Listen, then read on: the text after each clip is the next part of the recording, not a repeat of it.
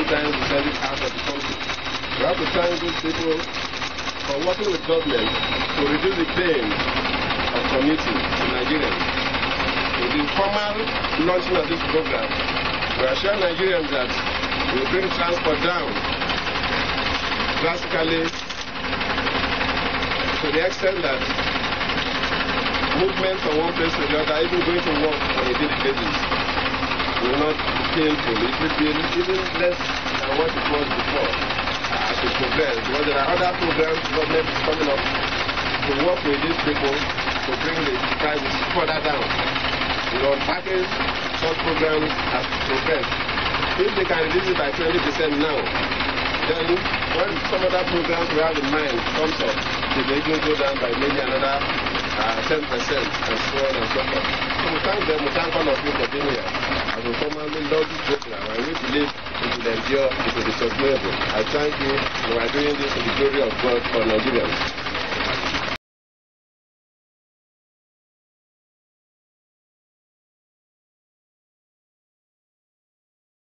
Today is being observed as Safer Internet Day.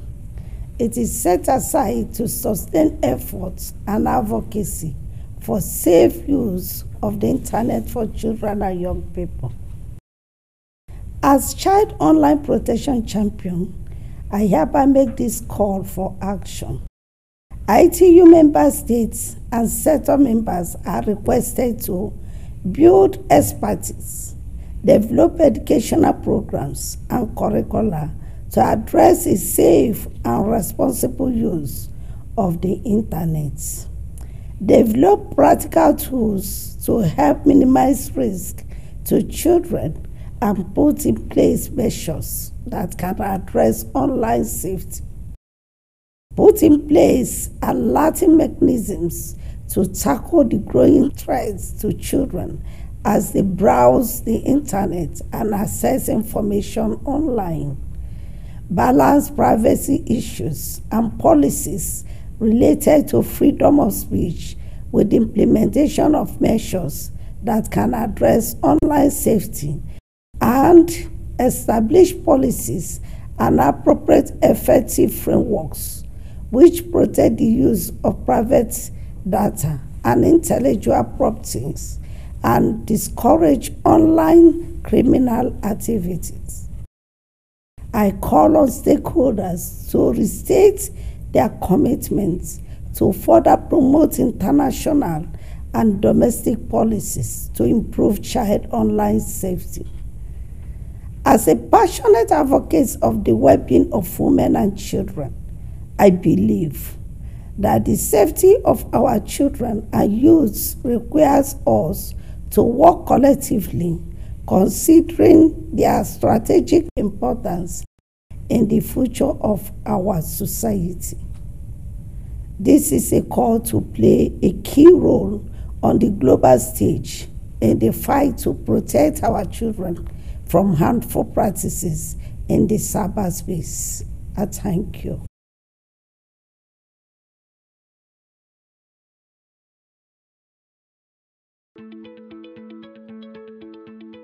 For the new administration coming in, I think that one of the most important foreign policy and national security issues is Nigeria. Nigeria is the largest country in Africa and it's the second biggest economy. That means that what happens in Nigeria matters for Africa and for the globe. Nigeria is also home to Boko Haram. In 2015, Boko Haram was ranked as one of the four deadliest extremist groups. And it's hard to imagine what that actually means in concrete terms. But in 2014, when almost 300 girls were abducted in Chibok, that really brought to life the terrible impact that Boko Haram has had on Nigerians. I was struck when the governor of Borno State from northern Nigeria was at USIP a couple of months ago and talking about the area of northern Nigeria as a powder keg that's ready to explode. He talked about the tremendous challenge of having to resettle more than 2 million people who've been displaced by Boko Haram. Peace and security in Nigeria requires much more than a military solution. The US can help Nigerians to rebuild their country, to ensure that the reasons that Boko Haram emerged in the first place are addressed. This means that police and military have to rebuild their relationships with communities. The US also has an important role to continue dialogue with influential leaders like the governor of Borno State, people who are on the front lines of addressing the underlying reasons that Boko Haram emerged and making sure that the advocates who are trying to bring home the girls who were abducted succeed. This is the best way to ensure that Boko Haram or another Boko Haram don't emerge as a threat to Nigeria, to the region, and the rest of the world.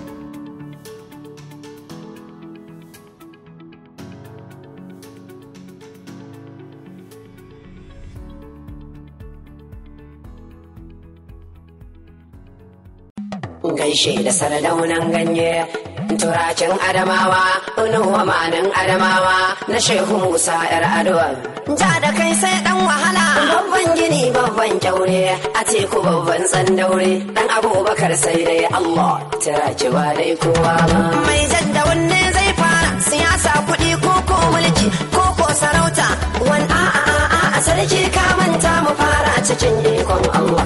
Farko ka sa sunan allah. Sai salatin manzo sannan sai madaukar nan waƙa.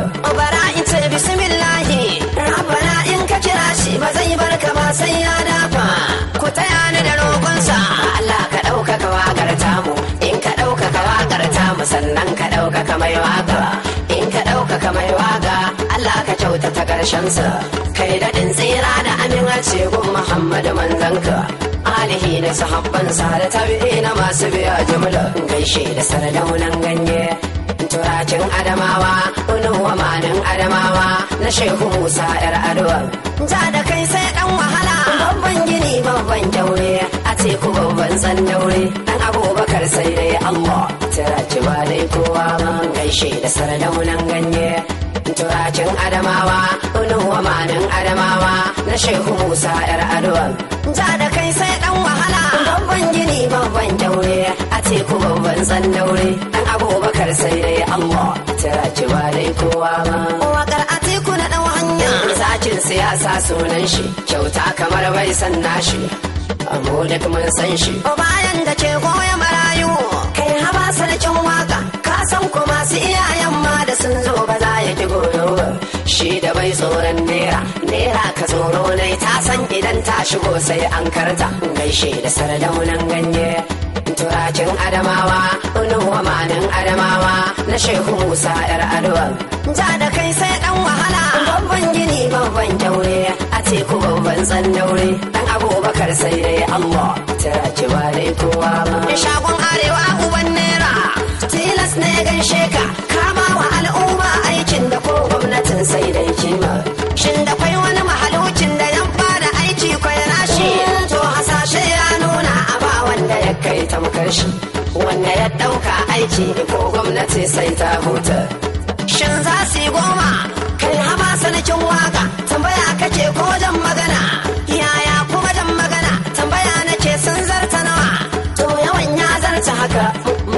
maka ko da gwamnati za ta ce sai ta huta a tiku babban jirgi ne. Gaishe da sardaunan ganye turacin adamawa unuwa manin adamawa na shehu musa yar adowa ja da kai sai dan wahala babban gini babban kyaure a teku babban tsandaure dan abubakar sai dai allah.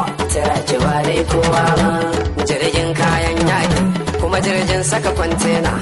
Ta rago baban adam. Ka ja mutum har kayansa. Lafiya sarcin yaki da lafiya dutsen murhu. Lafiya dutse na tsakar ruwa kai gumi ka kore shi. Rijiya kake gaba dubu turaci ka wuce wasan yaro. Babban murfin dutse matsar da kai sai an tara. Aljani kace a teku kwattaba ka kashi na ya bushe. Dodo kace a teku ka shigo ka allah sai ya koma. Sanyi kace a teku za a sha ka dan jin daɗi malam. Sai a kwanna biyan bashi.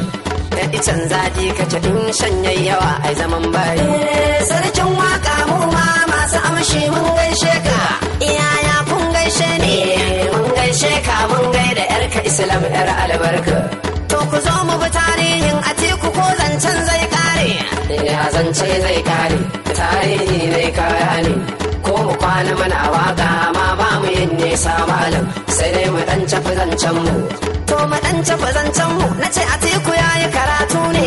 Ka ji kai sarkin waƙa mutumin da ya ce wannan kace tambayar makaranci ne. To idan makaranci ne na wacce makarantar ya fara? Ya yi primary a jada primary school. Ya yi secondary provincial ta garin yola. Sannan sai school of hygiene ta kanan dawo.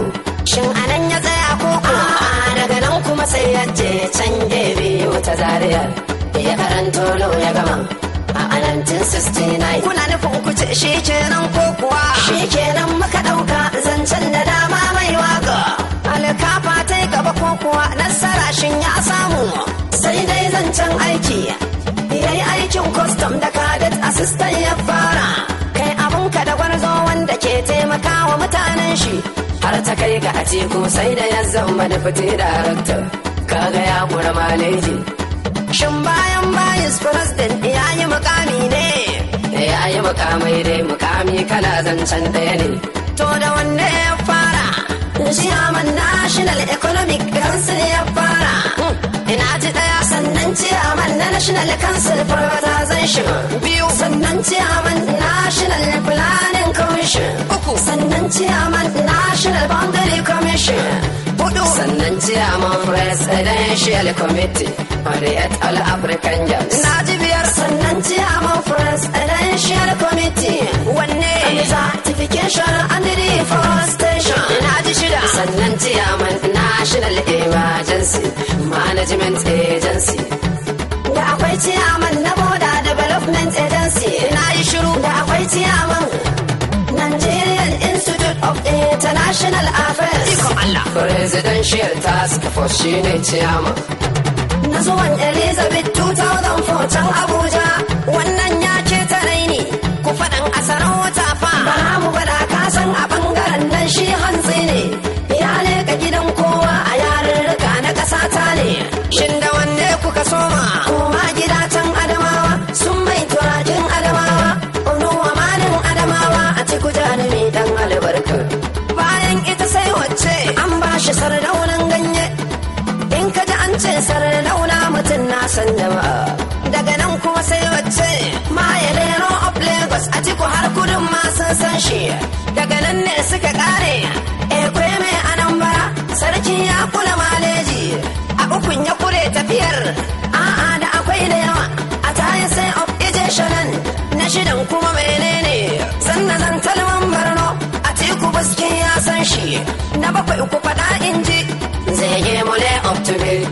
A tiku gwarzon ƙarshe ne. Kaji kai sarkin waƙa ku daɗa in ji yan amshi. In shatiman biyu ne shi kuma suka ne a ogoniland duka dai. Babile oke ona eba of ibaland daga nan sannan a otun baligun of mofoland gaske omega ojura of ebosa jirgin kaya da yaki ce gudu mai sanya artu. Tafiyar ka da tasu. Kai duk wace da wannan sarki sai dai a atiku abubakar turaki na can adamawa tamu. Lalle ya ce tare ni a atiku uban maza ne. Sarkin waƙa to ya batu na siyasar shi. Mun san ka san da yawa dan kana yi da mutanen shi. Ya irin su garba shehu.